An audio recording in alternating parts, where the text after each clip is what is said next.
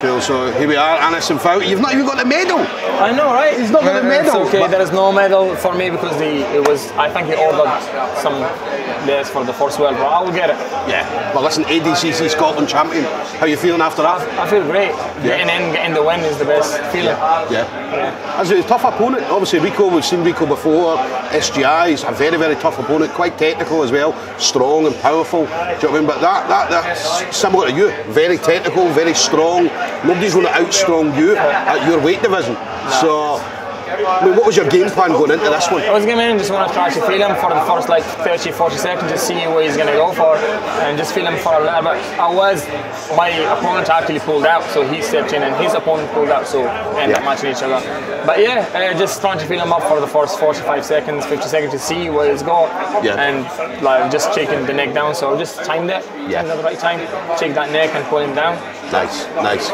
What's uh, next for you then? So I know that you, because we talked about the CrossFit, obviously chatted you, you won a CrossFit comp. Yes. Was it last week? Last, Last week, weekend? yeah, last so, weekend, um, so again, you're doing absolutely brilliant. You're out there doing all sorts of stuff. Yes, sir. What do you see yourself doing going forward? Uh, I go. I come. Is coming to the to Scotland. It's HYROX. I don't know if you heard of it. Right? No, no. It's lots of running and lots of uh, sled fishing and everything Definitely not what I do then. Not what I do. It's, it's, it's, it's going to be good, uh, and then hopefully I'm going to be back striking to get in back to the cage. So I take time off since my last fight to just concentrate a little bit on my wrestling and my grappling, so I can get back in the cage. yeah, yeah, definitely.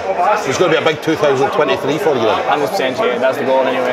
Ah, we love seeing you. We love seeing you out there, regardless of what you're doing. So, anybody you want to shout out to? Friends, family members, Uh, teammates, my wife. or even your business as well? No, dedicated conditioning. It's right yes. here. Yeah. So, right here, dedicated conditioning. Yeah, uh, obviously without that gym I wouldn't be where I am. With my wife I got three children, so without her looking after the kids I wouldn't be here, I wouldn't be training. So uh, and also all my sparring partners, my gym, mob, uh, guys, uh, yeah, and all my uh, gym partners as well. Yeah, thank you guys. Perfect.